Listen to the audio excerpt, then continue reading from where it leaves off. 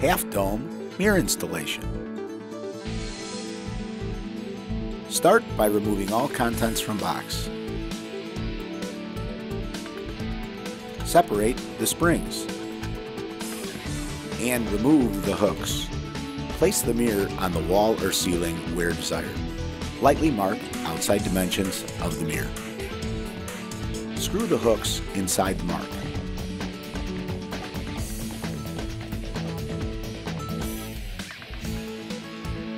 Attach the springs to the hooks.